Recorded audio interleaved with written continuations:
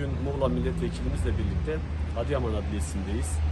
Deprem sonrasında Adıyaman'ı unutan, Adıyamanlı'yı enkaz altında donarak vefatına sebebiyet veren ihmalleriyle Adıyaman'daki arama kurtarma çalışmalarının yeteri kadar zamanında başlamasına engel olan bütün kurumlar hakkında Ulaştırma Bakanlığı, İçişleri Bakanlığı ve ilgili tüm kurumlar hakkında suç duyurusunda bulunduk. Bu davanın takipçisi olacağız ve Adıyamanlı hemşehrilerimizin hakkını hukukunu korumak için elimizden gelen her türlü gayreti göstereceğiz ta ki adalet yerini bulana kadar.